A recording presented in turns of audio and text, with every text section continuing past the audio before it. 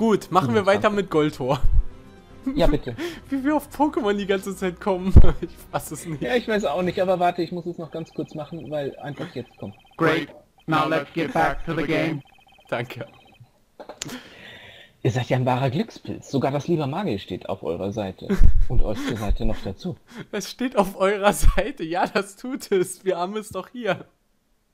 In der Hand. Auf unserer Seite. Des Tisches. Dennoch, dennoch gibt es eine große Schwachstelle in eurer absurden Hypothese.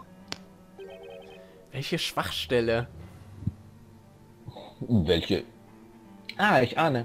Welch, welche Schwachstelle in Kielsdorf Lamberg? Hm. Oh, das ist schnell erklärt. Erinnert euch daran, wie die Alchemistenstube zum Zeitpunkt des Vorfalls aussah. Oh, weißt du, weißt du, was man mit diesem Zauberspruch machen könnte? Nee. Man könnte tatsächlich eine Portal, äh, Portal Gun entwickeln. ja, könnte man. Man nimmt einfach eine Farbkanone. Splatoon. oh. Könnt ihr euch grüner Wände entsinnen? Ich kann es nicht. Dort gibt es nämlich keine grünen Wände. Ja, Doch. der hat doch erzählt, dass er gestrichen hat. Mhm. Alle Wände sind weiß. Boom. Oh, dann war der die Mit Hexe. anderen. Mit. Weiß man's? Hm. Wir haben ja sowieso überlegt, ob das wirklich ein Junge ist. Mit anderen Worten. Die Anwendung von Goldtor in jedem Raum war und ist unmöglich. Nichts ist unmöglich. Hm, das war falsch. Das ist der totale Schwachsinn, Mann. Ja, wenigstens das klappt. Hm. Auch das Gericht begab sich nach dem Vorfall in die Studierstube. Die studierische Tube. Ich kann mich gut daran erinnern, dass alle Wände matt weiß waren. Eure kleine Theorie war erbauend, aber sie hat sich als genau das herausgestellt. Eine bloße Theorie, ein Gedankenspiel. Solange sie nicht ihr, solange ihr sie nicht beweisen könnt, ach, solange ihr nicht beweisen könnt, dass Goldtormann benutzt wurde, wollen wir nichts mehr davon hören. Hm. Ich kann, ich kann, ich kann. Um ehrlich zu sein, mich erstaunt es, dass ein solcher Spruch existiert. Ja, mich auch. Doch wenn es unmöglich ist, dass dieser Spruch in eurer Stube genutzt wurde, dann führt eure Folgerung nirgendwo. So lasst das Gericht nun eins fragen. Haben wir irgendeine Frage? Ah, Moment, lass das. Lass das Gericht nun eines fragen. Moment, äh. Hm. Hm. Ich, ich muss mal was gucken. So, lass das. Ach so, oh. So, mach noch mal den Satz. So lasst das Gericht euch nun eines fragen. Habt ihr ein Problem mit nackten Hintern? Ja! ja, bitte, euer Ehren. Habt Habt ihr ihr... vielleicht einen Beweis, den ihr dem Gericht den ihr dem Gericht präsentieren könnt? Habt ihr hat ja schon mal gepasst. Aber da fehlt nur noch Problem mit nackten Hintern. Könnt ihr beweisen, dass es der Hexe möglich war, den Spruch Goldtor in jedem Raum zu wirken? Das ist kein Zufall. Der Zauber wurde definitiv am Tatort benutzt. Habe ich einen Beweis, dass es möglich war, Goldtor zu benutzen? Ja, klar.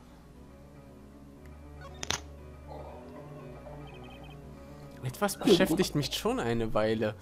Dieser unerklärliche Fleck. Er ist der Beweis, der alles auflöst. Die Verteidigung wird den alles erklärenden Beweis präsentieren. Oh, oh, unmöglich. Nichts ist unmöglich.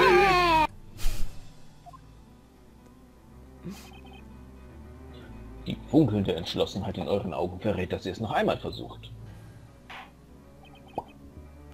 Möge die Verteidigung nun dem Gericht den Beweis präsentieren. Präsentiert den Beweis, dass der Zauber Gold, oder? Wirklich am Schauplatz des Verbrechens benutzt wurde. Nimm das! Die Wände der Stube sind allesamt weiß. Doch nur auf den ersten Blick. Es gibt genau eine Stelle, die grün ist. Oh, wirklich? In der Tat. Die Stelle ist mir aufgefallen, als ich den Ort untersuchte, äh, den Tatort untersuchte. Vielleicht erinnert ihr euch an das, äh, ja, an das kleine Gemälde hinter dem Schreibtisch. Aus irgendeinem seltsamen Grund ist die Wand hinter dem Gemälde grün gestrichen. W wirklich? wirklich? Das Gericht hat jenes Gemälde ebenfalls erblickt. Es war wohl... Hm, es hing ungefähr hier. Oh! Jetzt haben wir da auf der anderen Seite ja übelst viel mehr. Hm? Phoenix, ich markiere es im Übersichtsplan. Grundriss in Gerichtsakt aktualisiert. Grundriss. Ich habe mich die ganze Zeit über gefragt, was mich daran gestört hat. Jetzt wird es mir klar. Am Tag des Verbrechens öffnete sich ein Portal hinter dem Gemälde. Dies war die Wand, die für den Goldtor-Zauber herhalten musste.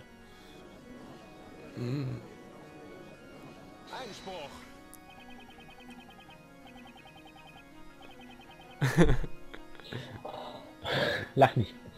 Eure Beharrlichkeit ist beeindruckend. Ihr wollt wohl um jeden Preis ein Portal dort haben, oder?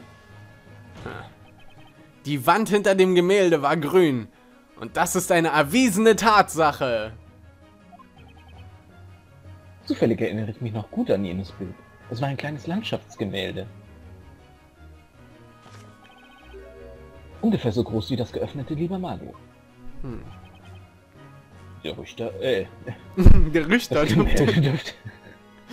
in der Tat Oh, Moment. Moment. Ein kleines, hinreißendes Bild. Moment, darfst, sag, sag bitte nochmal, lass mich bitte nochmal den Satz selbst äh, ein bisschen mitvervollständigen.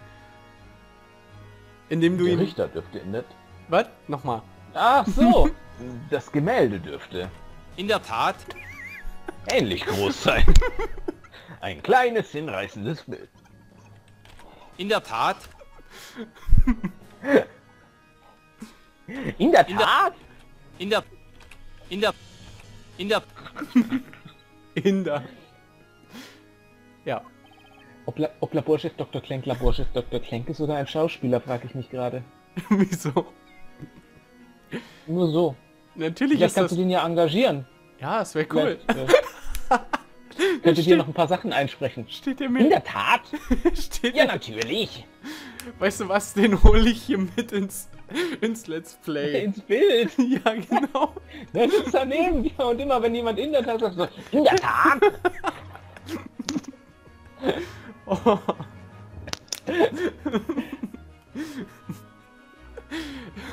War das ihr größter Auftritt jemals? In der Tat.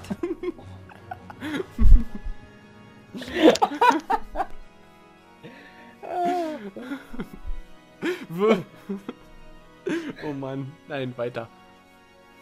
Selbst wenn sich an dieser kleinen grünen Stelle ein Portal geöffnet hätte. Wäre doch kein Mensch in der Lage, dorthin durchzupassen. Für mehr als ein Arm ist doch kein Platz dort. Reicht vielleicht. Könntet ihr dem Gericht vielleicht erklären, wie eine Hexe durch ein solch kleines Portal entkommen soll? Er hat recht, Phoenix. Niemand hätte sich durch ein derart kleines Portal zwängen können.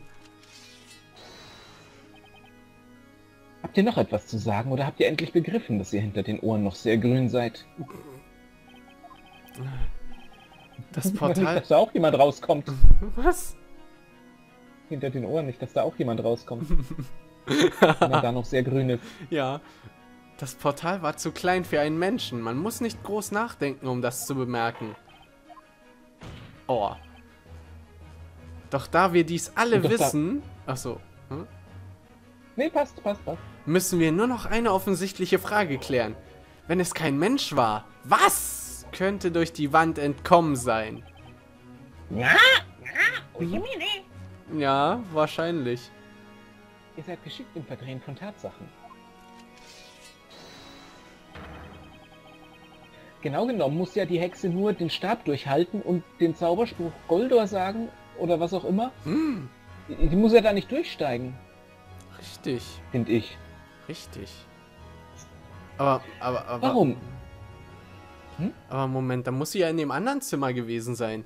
Und dann aber erst Ja, dann- Goldtor gesagt haben und dann äh, muss man das Portal dann so wieder wegmachen, indem man Goldtor sagt oder was? Ach so, das weiß ich jetzt natürlich nicht. Hm. Ja, gute Frage. Na okay, weiter erstmal. Warum beantwortet ihr eure eigenen Fragen? Ihr redet so, als wüsstet ihr schon alle Antworten. Hm. Ein kleines Portal wurde an der Wand am Tatort geöffnet. Ich habe alle Hinweise, um dieses Rätsel zu lösen. Durch das Portal gelangte... Hm, Ich wäre für irgendwas anderes. Warum sollte es ein kleines Tier sein? Haben wir sonst noch irgendein Tier? Nee, nicht, dass ich wüsste. Was war mit der Katze? Sophie ist ein Mäuschen, aber komm. Die Nora? Ah, Nee. Die hat ja mit dem Fall gar nichts zu tun. Bis jetzt. sollten wir trotzdem vielleicht auf ein Tier spekulieren? Da hätte es einen Hinweis gegeben, glaube ich. Und Cookie war es, denke ich, nicht. Nein, ich glaube nicht, dass es Cookie war, aber... Hm. Es wäre Hier natürlich wäre so interessant, wenn's- hergeholt, es könnte sein, aber ich denke, da hätte das, hätten sie uns Hinweise geben sollen vorher. Weißt du Irgendwelche, was? dass da ein Tier rumlief oder so. Ich wäre für... Okay, aber ich wäre für irgendwas anderes. Oh, Oh, das ist gemein. Also ich meine, das eine hätten wir auch selber ausschließen können. Ja. Ah. mach Wirklich? wofür du bist. Ich bin für... Okay. Kein Mensch kann sich durch diese klei äh, dieses kleine Portal gezwängt haben. Sogar eine Hexe schafft das nicht. Ha, nehmt ihr also endlich Abschied von euren wahnwitzigen Behauptungen. Ich bin noch nicht fertig, werter Inquisitor. Irgendetwas anderes könnte durch äh, irgendetwas anderes könnte durch das Portal gelangt sein. Und welches rätselhafte Wesen soll das gewesen sein, verwirrte Herr Blaurock? Das Portal wurde geöffnet, nachdem Leighton in Gold verwandelt wurde. Die Hexe muss wohl einen Grund gehabt haben. Sie hat also etwas durch das Portal geschoben. Hm, das ist eine gute Idee. Es muss nicht der Stab unbedingt dadurch, sondern irgendwie... Ja, obwohl.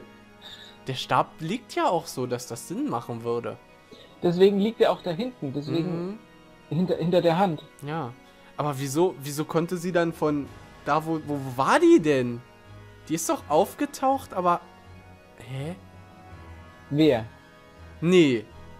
Dieses Schattending ist Nee, was aufgetaucht. aufgetaucht ist, war ja das Schattending vom anderen Zauber. Ja, das, das war ja kann... nicht die Hexe. Ah. Okay, weiter. Ihr habt die Neugier des Gerüchts geweckt. Was genau hat nun das Portal passiert? Hätten die nicht einfach Fingerabdrücke nehmen können? Nein, was hat das Wofür hat die Portal? Hexe, Natürlich. hat die Hexe das magische Portal benutzt? Ja, ich für den. Für die Talea Magica, natürlich. Take that! Angesichts des Tatorts gibt es nur eine Möglichkeit. Und zwar kann es nur die Talea Magica sein. Was geht nun vor sich? Die Thalia Magica wurde am Schauplatz des Verbrechens gefunden. Das Portal hat damit nichts zu tun. Inquisitor Flamberg, ihr seid Opfer einer falschen Annahme. Einer falschen Annahme. Ja. Eine Abgabe. Die Hexe hat nicht versucht, einen Beweis am, äh, vom Tatort zu entfernen.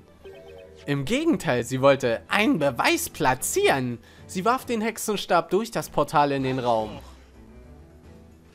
Boom. Ihr, ihr und eure wilden Theorien. Ist euch eigentlich bewusst, welch wirres Gerede aus eurem Mund entfleucht? Wenn sie den Stab in den Raum geworfen hat, dann heißt das... Ganz genau. Sie hat es getan, um uns zu täuschen und um es äh, und um uns auf die falsche Fährte zu locken. Die Hexe war während des Verbrechens nicht im gleichen Raum. Sie wirkte den Zauber von außerhalb. Was? Flawless Victory. Flawless victory.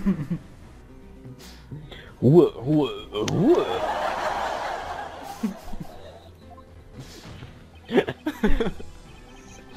Es gibt einen weiteren Beweis, dass der Stab von außen in den Raum geworfen wurde.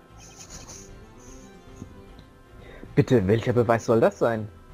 Das erfahren wir bei der nächsten Aufnahme. ja, also, ja, okay. Es ist wirklich jetzt lang geworden. Ja. okay, dann. Aber ich finde, das war wirklich ein... Flawless victory. Also bisher auf jeden Fall. Das kriegen wir doch noch weiterhin. Ich denke auch. Außerdem, wir haben ja immer noch vier Versuche, weil wir einen verhauen haben. Stimmt. Ja, aber ansonsten. mehr Äh, bei was. Aber ansonsten, wir werden dann bald wieder da sein. Und zwar das nächste Mal auch mit Laborchef Dr. Clank. In der Tat. Okay, aber, aber bis dahin erstmal zugeklappt, eingepackt und ja, Ja. man sieht Tschüss. sich. Tschüss.